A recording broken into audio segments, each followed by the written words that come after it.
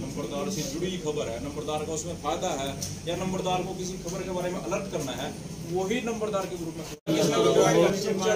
लिखेंगे।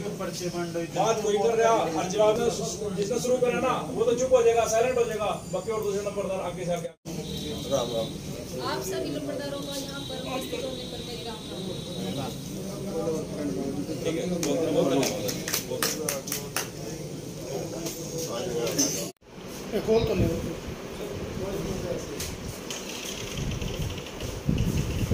ब्लॉक में सबसे बढ़िया, हमारे एस डी एम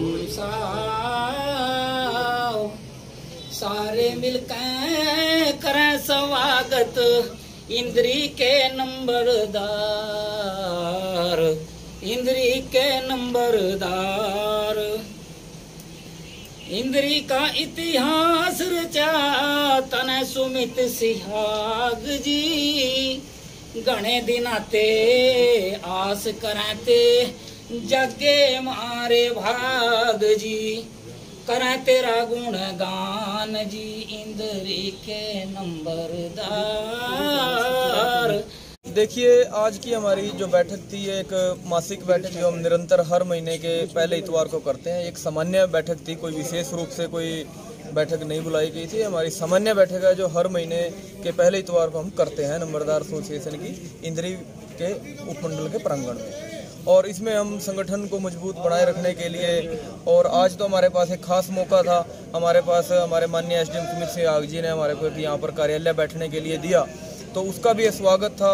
उसको स्वागत कह लो मुहूर्त कह लो कुछ भी कह सकते हैं आप। और उस खुशी में भी आज हमारे साथी पूरी इंद्री विधानसभा के हमारे ढाई के करीब हमारे नंबरदार साथी बैठक में आज उपस्थित थे। सबसे बड़ी हमारे लिए खुशी की बात ये जी नंबरदार जी। देखिए इंद्री एसोसिएशन वाकई में आप सही कह रहे हैं कि चर्चा का विषय है। इसका चर्चा का विषय है हमारी एकता हमारी मजबूती।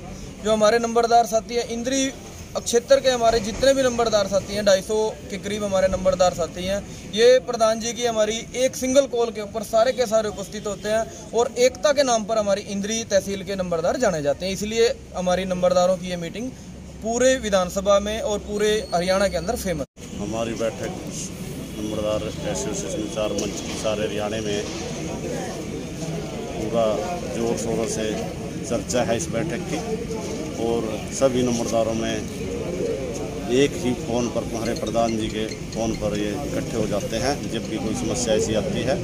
और सरकार की जो नीतियाँ हैं, जैसे लाल डोरा की स्वामित्व योजना के अं- अंतर्गत गाँव में लाल डोरे के अंदर लोगों को मालिकाना मालिकाना हक देने के बारे में जो योजना चलाई जा रही है, बहुत बढ़िया योजना है। और इसको गाँव में नंबरदारों का पूरा जोरों शोरों से प्रचार प्रसार किया जा रहा है। नंबरदार इसमें पूरा सहयोग कर रहे हैं और एक सरकार की योजना है, सांझे खाते की ज़मीन को अलग अलग करना। ये स्कीम बहुत अच्छी स्कीम है। लोगों को इसके लिए बहुत भारी समस्या है, जिसको सरकार ने सुन लिया है और इसको लागू कर दिया है। कि छः महीने के अंदर कोई भी साझे खाते का, साझे खाते का आदमी अपनी ज़मीन को अलग कर सकता है। उसमें तहसीलदार, सहायक कलेक्टर, प्रथम श्रेणी के समक्ष अपनी एक आवेदन देना होगा और उसको छः महीने के अंदर अंदर अलग हो जाएगा। मांग, सरकार से मांग है हमारे, जो सरकार ने राज्य स्तरीय सम्मेलन में वहाँ हिसार के अंदर, महावीर स्टेडियम में माननीय मुख्यमंत्री जी ने जो नंबरदारों के हित में घोषणाएँ की थी, जैसे स्मार्टफ़ोन देना और मासिक मीटिंग है, मानदेय है और बसों के किराए के बारे में भी जो समस्या आ रही है नंबरदारों को, सरकार ने हमारी मांगों को मानदेय और और हमारी जो मासिक मीटिंग है उसको शुरू किया था, लेकिन कोरोना काल की वजह से वो बंद हो गई है। और जो समस्या है समय समय पर हमारी सरकार